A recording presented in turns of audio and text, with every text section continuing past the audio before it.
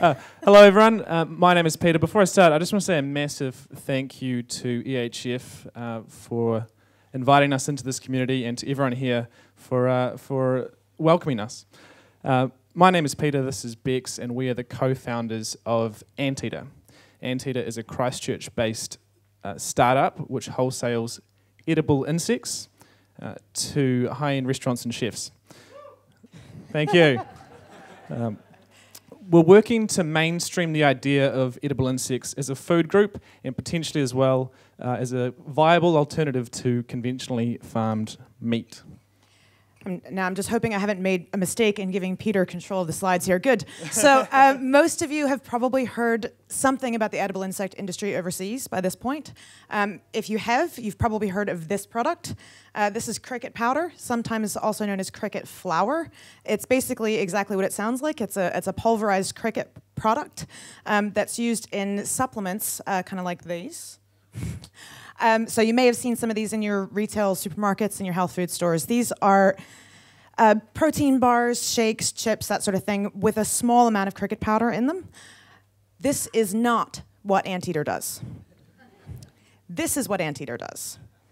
So we do high-end food. We're business to business. We are producers and wholesalers. We sell directly to the best chefs in New Zealand. These are guys who are competing at an international level.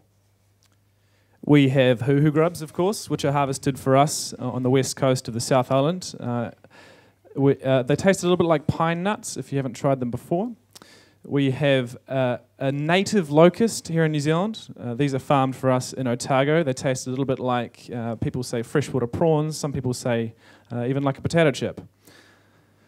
and these are our lemongrass ants, which they're not your average garden ant. Um, they're harvested, wild harvested by myself in the valleys of the Port Hills in Canterbury. Uh, chefs love them for their incredibly unique natural flavour, which they describe as kaffir lime and lemongrass with a mild blue cheese aftertaste. uh, uh, that's not just some kind of sales spiel, that came straight from a, a chef's mouth. Um, their flavour makes them ideal as a garnish on, on high end dishes and also as a flavouring. Now, I confess that I did not grow up expecting to sell bugs for a living. Uh, my background's actually in logistics and operations. I spent about 10 years uh, running rock and roll venues and uh, running technical teams for large scale events like this, uh, the Laureus Sports Awards. But in 2016, I decided to go back to grad school and study business. And while I was there, I ended up at a young entrepreneurs event called Startup Weekend, uh, which is where I met Peter. Peter got up in front of a room full of people and earnestly pitched the idea of bugs as food, and I thought he was a crazy person.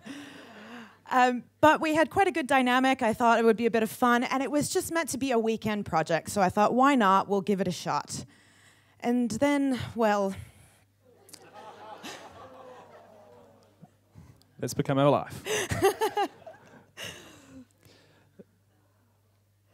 I. Uh, spent about four years uh, working in a seaweed business uh, down in Christchurch or Akaroa Harbour um, for the locals here. Uh, I'm a bit of an all rounder, so I was involved in every step of the value chain in creating products like kelp pepper. Has anyone tried it out of interest? Oh, cool, yeah. awesome. Um, uh, which is also used as a garnish in the food industry. Um, I quit that job completely blind, having no idea what I was going to do. Uh, I, um, I just knew I needed something with more learning and more autonomy.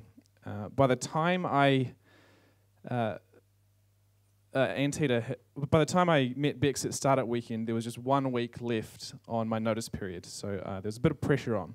Uh, some of you might be wondering though, why, why are we doing all of this? If we want to solve climate change, we've got to change the way we think about protein.